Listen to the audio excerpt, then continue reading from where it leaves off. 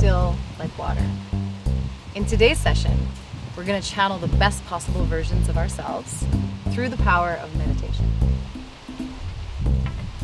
Now, be careful what you pay attention to. Your mind creates your reality. Yeah, right. This meditation stuff is a bunch of baloney. It doesn't really work. No, man. I think there's something to it. Yeah, watch this. My intention is to channel my inner soccer player. International All-Star and former Whitecaps captain Jay DeMerit?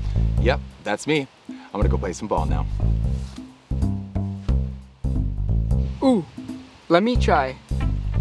My intention is to channel my inner movie star. Acclaimed actress Tasya Teles, known for her role in the hit series The 100? That's right.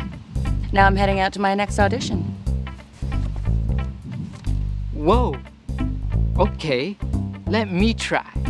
I'm new to this, so I'll try to keep it real simple.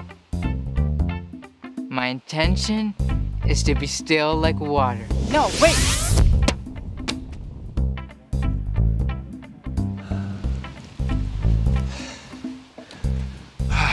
What's up, boys?